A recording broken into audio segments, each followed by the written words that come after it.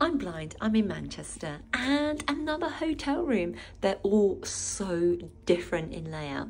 So I'm here with Guide Dog Marty, and I thought I'd give you a little tour of my hotel room because it's quite different to what you would usually get in terms of bathrooms, and I will show you why. So I'm just feeling my way along, and already I did a blind blunder.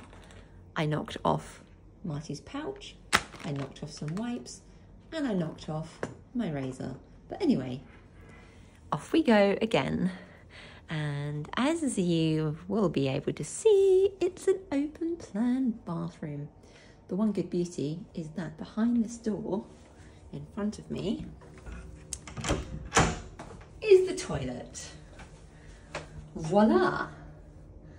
There we go, the toilet. So, if you did need the toilet and you were sharing with someone, you still have privacy, which is nice. However, there is my shower. I don't know if you can actually see through it. It's glass, but whether it's frosted or not, I do not know. And it's a nice big shower. Look at this.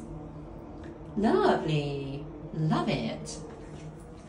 And then in front of me, we have the bed, which is lovely we have a bed, and then we have over here, we have a nice big table. And as I move along, something else which is a nice feature, a fridge. And apparently these drinks are on the house. Thank you so much. INNSiDE Hotel in Manchester.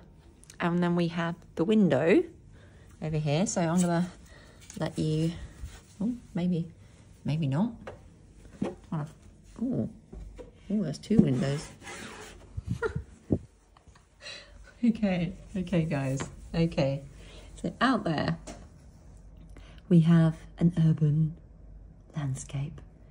And I know this because I used Be My Eyes and the AI feature to let me know what was out there. And it described it in amazing detail. And then we have, ooh, oh, what's a book? I don't know what the book is. I didn't even know there was a book on there. Well, hello, book. I will have to go and scan that with another app. So that is my hotel room, guys. I thought I would share and let you see the inside of my room. Take care.